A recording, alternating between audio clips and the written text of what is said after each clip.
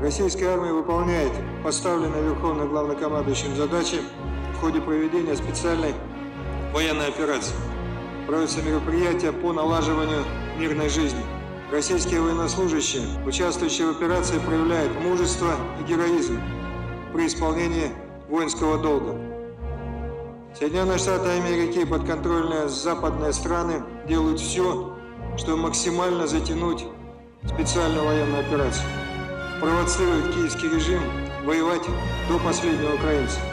События последних месяцев наглядно демонстрируют, насколько важно для России продолжать совершенствование вооруженных сил.